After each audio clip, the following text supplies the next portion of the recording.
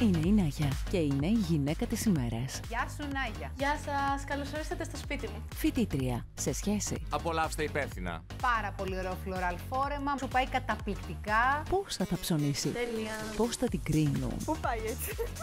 Α, δεν είσαι εντάξει. No. Όχι. Δεν μπορείς να δεις τίποτα εκεί. Σαν τι; Νάγια μου όχι, δεν σου πάει. Γιατί ε; Καμπύλες σου που είναι Νάγια; Χάσαμε τις καμπύλες. Και σήμερα η μέρα έχει τη δικιά της Θα πρωταγωνίστρια. διαβάσω και λίγο σήματα μιας και που δίνω δίπλωμα οδήγηση. Φανταστικό! Shopping Star. Σήμερα στις 4.